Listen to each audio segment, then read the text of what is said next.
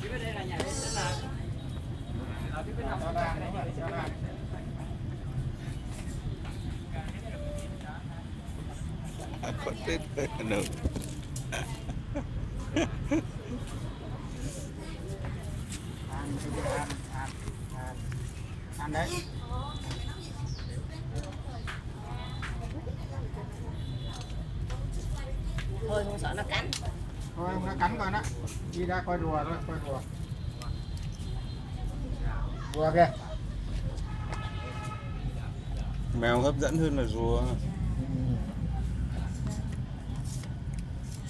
Rùa to kìa rùa to kìa rùa to kìa. Chưa.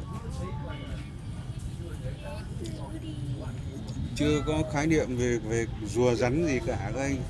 Na vào cái gì mà trông giống khúc gỗ nhỉ vẫn vẫn thích mèo hơn. Thích mèo hơn.